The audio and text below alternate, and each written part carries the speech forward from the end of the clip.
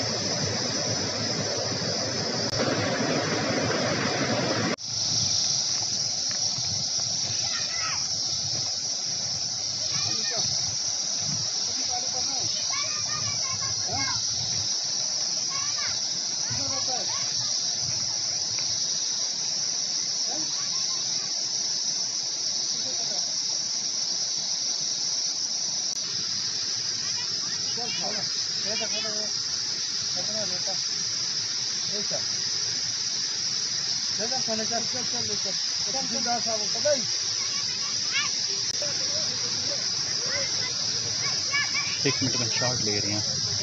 मैं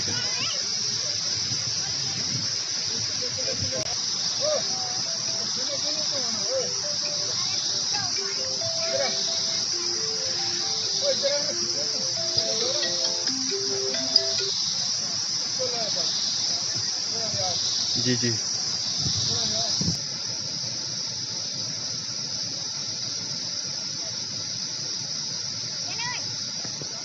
आए दिन जो माइनिंग हो रही है, उसी पर कार्रवाई हमें बहुत दिनों से ये मिल रही थी इन्फॉर्मेशन की यहाँ पर।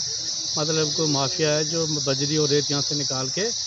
तो काफ़ी दिनों से हमने काफ़ी बार छापे मारे, लेकिन लेट आवर्स में रात को कभी बारह एक बजे के बाद तो आज जब हमें ये इन्फॉर्मेशन मिली कि इस वक्त कोई ट्रॉली वहाँ पर लगी है तो आपने देखा यहाँ पर बहुत सारा बजरी रेता यहाँ पर डैम करके रखा हुआ है। तो ये एक वही स्टेप है कि ये जो इलीगल माइनिंग करते हैं, उसलिए हमने इस ट्रैक्टर ट्राली को सीज़ किया और हमने इसको पुलिस स्टेशन भेज दिया। तो अब आगे की जैसे भी जहाँ पर इंफॉर्मेशन मिलेगी, इसी तरह की कार्रवाई होगी हमारी। इसमें थोड़ा सा प्रॉब्लम हमारे पास जो माइनिंग वाले जो लोग हैं जियोलॉजिकल माइनिंग वाले लोग हैं, वो हमारे पास यहाँ आते नहीं है। कभी उनको बोलो तो वो कहते हैं, अब ये थोड़ा जैसे अब उनको बोलेंगे तो यहाँ पर आ जाएँगे उसी वक्त। तो इतने में कौन रुकेगा यहाँ पर? तो फिर उसके बाद पुलिस भी फिर केस वैसे बनाती है। अगर माइनिंग वाले साथ में हो तो फिर ये केस ऐसा बनता है कि इनको कुछ दिन लगते हैं काफ़ी महीने लगते हैं इनको ट्रालियाँ वगैरह अपनी जे सी वगैरह चुराने के लिए।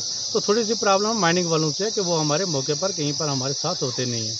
तो देखा गया कि अभी भी जो है ड्राइवर भाग गया है तो हाँ ये तो ये इन लोगों का काम ही ऐसा ना कि ये देखते हैं ऐसा ये बड़ा एहतियात से और होशियारी से ऐसा काम करते हैं कि क्या करना है, जब को आएगा हमने कैसे करना है, ये ऐसे करते हैं।